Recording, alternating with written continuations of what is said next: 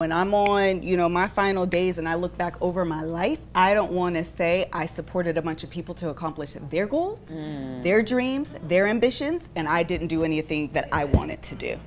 And so once I came to that, I was like, well, first of all, guess what, girl? You're the main character. That's right. And it just it, it came with like an infusion of energy that I think most people are seeing online of like my shoulders are out.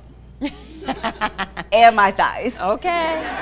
Yes, my thighs are small, big thighs. What is it? Thick thighs save lives. Honey. Yes, I have thick thighs too. And that's your business. I, yes, honey. correct. Business, I appropriate girl, thick thigh culture.